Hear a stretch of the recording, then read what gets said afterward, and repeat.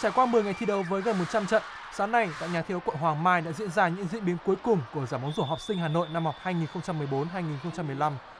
Đội nữ Ngô Quyền và nam cầu giấy 1 đã giành huy chương vàng nội dung cho cơ sở khi lần lượt vượt qua các trường Giảng Võ và Thăng Long. Trận chung kết nữ trung phổ thông giữa đoàn kết Hai Bà Trưng và Chu Văn An diễn ra theo thế trận một chiều với chiến thắng cách biệt cho đoàn kết Hai Bà Trưng.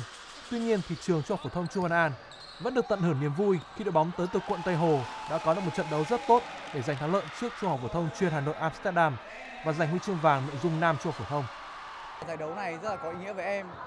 À, điều này đã làm cho em và đồng đội trở nên gắn kết với nhau và tạo điều kiện để cho em mở rộng quan hệ với cả tất cả bạn bè ở khắp mọi nơi. Trong tất cả các giải thì uh, em nghĩ là giải học sinh có lẽ là gắn bó và nó là giải mà em thích nhất.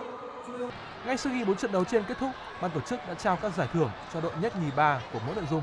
Đây là giải đấu nhằm tuyển chọn các vận động viên xuất sắc để đại diện cho Hà Nội dự giải Hội khỏe phú đồng toàn quốc sẽ diễn ra vào tháng 8 tới.